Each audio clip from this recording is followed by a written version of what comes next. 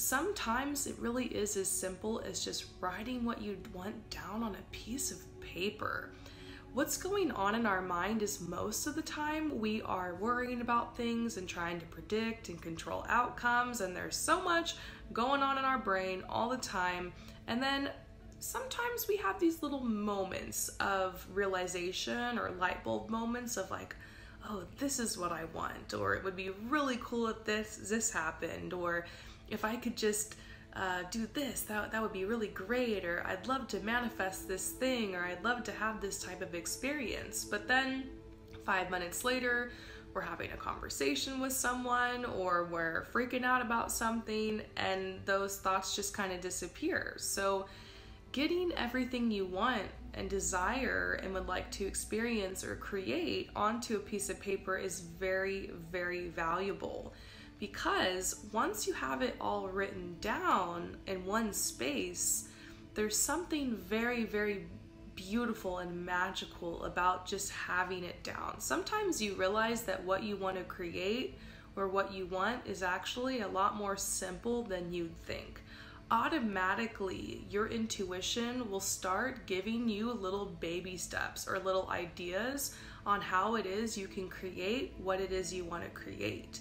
So sometimes we overcomplicate, we overanalyze, and we overthink, like way in the future, like all the steps of what it is we want to manifest, and we stop because we think we don't have enough time, or we don't have enough energy, or we don't have enough resources, or we don't have enough support, or we don't have enough money or something. But when you can get everything written out, the little baby steps will become evident to you. Like all the little things you need to do to get the support or to get the energy or to make space um, or to help relieve the stress so that you can take the next step. Like all that kind of stuff can reveal itself to you and also through a vision board. Remember when you were a child, you didn't think like, oh, there's no way I can be a ballerina because I'd have to go to an elite ballerina school and it would cost so much money and I'd have to travel all the way to New York and I'd have to when you're a little kid, you just think like, I'm gonna be a ballerina. I'm gonna do it. I'm gonna put on my tutu and I'm gonna dance around right now and I'm just, I'm gonna do that.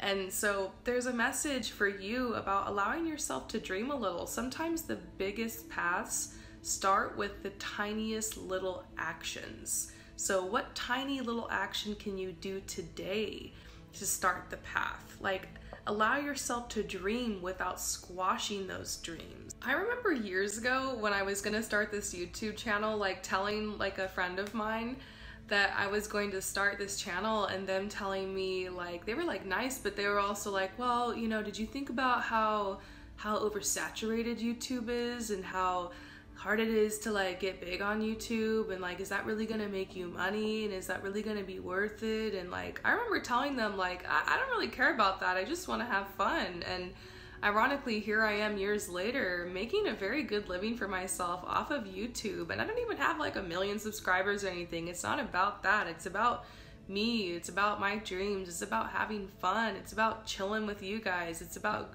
giving myself something to do when I wake up every day that I enjoy. And so, you know, maybe the reason that you have stopped dreaming is because there's been people in your life that because of their own fears, they're projecting stuff onto you and because they don't allow themselves to dream, they've like kind of told you or taught you you shouldn't dream. Sometimes those people can be friends or relatives or your teachers or superiors in life. And so allow yourself to dream. When you were a child, nothing stopped you from dreaming. Like you just did it. It's your natural state. Realize that dreaming is your natural state because you're a creator.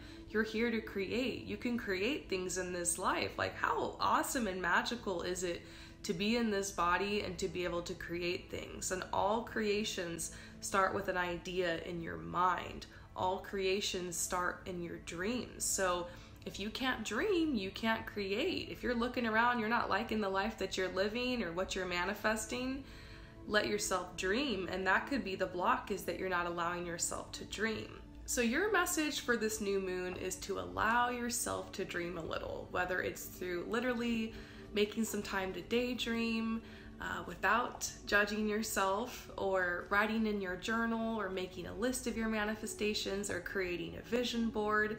And if you're interested in how to create a vision board, just here on YouTube, type in Rainbow Harmony how to make a vision board. And I have two tutorials I posted on how to make a vision board. So get to it, allow yourself to dream, and you never know what you could think of that could change your life. So I hope this message resonates with you. Thank you so much for coming to my channel, and I will see you next time. Peace out.